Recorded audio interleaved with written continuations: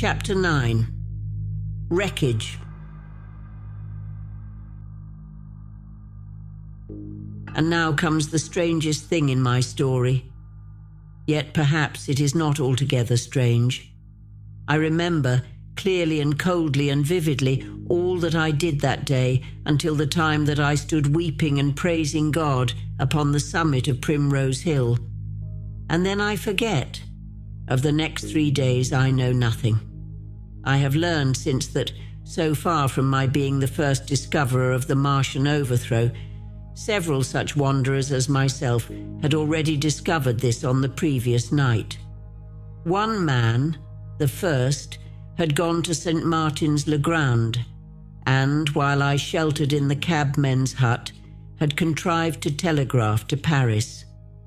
Thence, the joyful news had flashed all over the world. A thousand cities, chilled by ghastly apprehensions, suddenly flashed into frantic illuminations. They knew of it in Dublin, Edinburgh, Manchester, Birmingham, at the time when I stood upon the verge of the pit. Already men, weeping with joy as I have heard, shouting and staying their work to shake hands and shout, were making up trains, even as near as Crewe, to descend upon London. The church bells that had ceased a fortnight since suddenly caught the news until all England was bell ringing. Men on cycles, lean faced, unkempt, scorched along every country lane, shouting of unhoped deliverance shouting to gaunt, staring figures of despair. And for the food, across the Channel, across the Irish Sea, across the Atlantic, corn, bread, and meat were tearing to our relief. All the shipping in the world seemed going Londonward in those days. But of all this I have no memory. I drifted, a demented man. I found myself in a house of kindly people who had found me on the third day wandering, weeping, and raving through the streets of St. John's Wood. They have told me since that I was singing some insane doggerel about the last man left alive, hurrah, the last man left alive. Troubled as they were with their own affairs, these people, whose name, much as I would like to express my gratitude to them, I may not even give here, nevertheless cumbered themselves with me sheltered me, and protected me from myself. Apparently, they had learned something of my story from me during the days of my lapse. Very gently, when my mind was assured again, did they break to me what they had learned of the fate of Leatherhead. Two days after I was imprisoned, it had been destroyed, with every soul in it, by a Martian. He had swept it out of existence, as it seemed, without any provocation, as a boy might crush an ant hill in the mere wantonness of power. I was a lonely man, and they were very kind to me. I was a lonely man and a sad one, and they bore with me. I remained with them four days after my recovery. All that time, I felt a vague, a growing craving to look once more on whatever remained of the little life that seemed so happy and bright in my past. It was a mere hopeless desire to feast upon my misery. They dissuaded me. They did all they could to divert me from this morbidity. But at last I could resist the impulse no longer, and promising faithfully to return to them, and parting, as I will confess, from these four day friends with tears, I went out again into the streets that had lately been so dark and strange and empty. Already they were busy with returning people. In places, even there, were shops open, and I saw a drinking fountain running water. I remember how mockingly bright the day seemed as I went back on my melancholy pilgrimage to the little house at Woking. How busy the streets and vivid the moving life about me. So many people were abroad everywhere busied in a thousand activities that it seemed incredible that any great proportion of the population could have been slain. But then I noticed how yellow were the skins of the people I met, how shaggy the hair of the men, how large and bright their eyes, and that every other man still wore his dirty rags. Their faces seemed all with one of two expressions a leaping exultation and energy, or a grim resolution. Save for the expression of the faces, London seemed a city of tramps. The vestries were indiscriminately distributing bread sent us by the French government. The ribs of the few horses showed dismally. Haggard special constables with white badges stood at the corners of every street. I saw little of the mischief wrought by the Martians until I reached Wellington Street. And there I saw the red weed clambering over the buttresses of Waterloo Bridge. At the corner of the bridge, too, I saw one of the common contrasts of that grotesque time a sheet of paper flaunting against the thicket of the red weed, transfixed by a stick that kept it in place. It was the placard of the first newspaper to resume publication, the Daily Mail. I bought a copy for a blackened shilling I found in my pocket. Most of it was in blank, but the solitary compositor who did the thing had amused himself by making a grotesque scheme of advertisement stereo on the back page.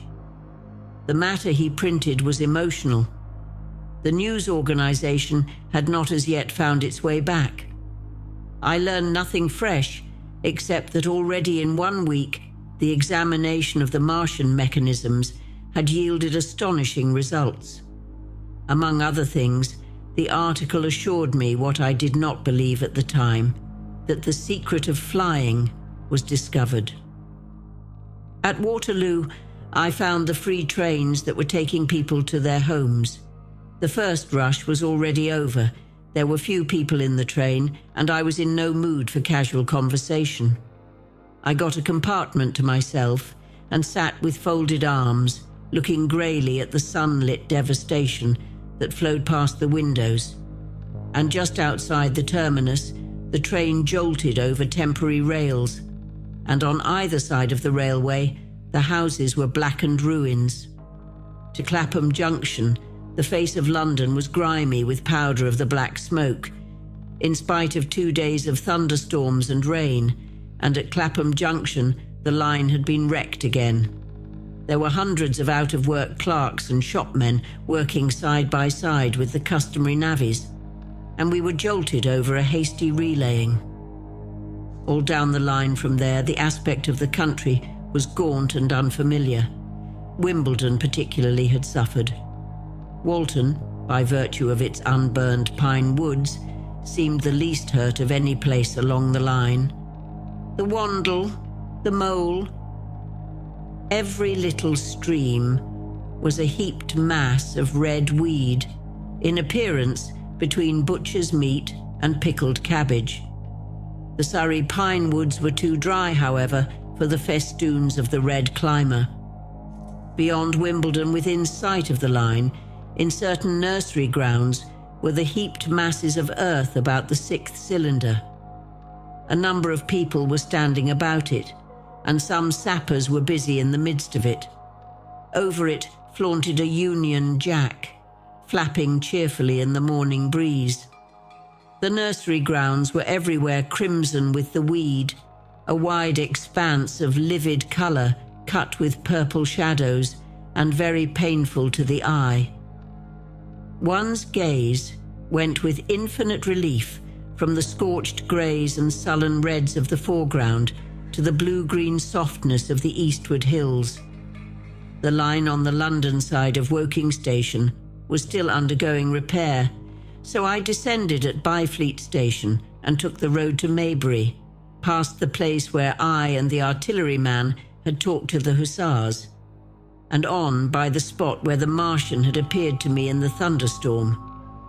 Here, moved by curiosity, I turned aside to find, among a tangle of red fronds, the warped and broken dog cart, with the whitened bones of the horse scattered and gnawed.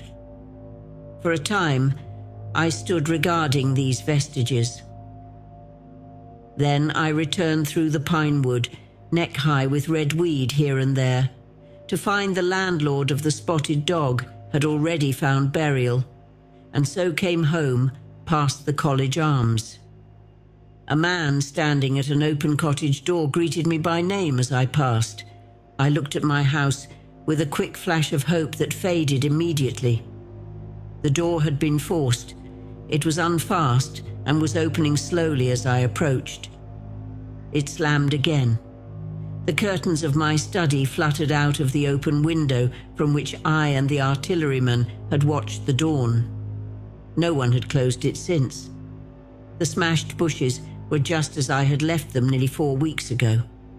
I stumbled into the hall and the house felt empty.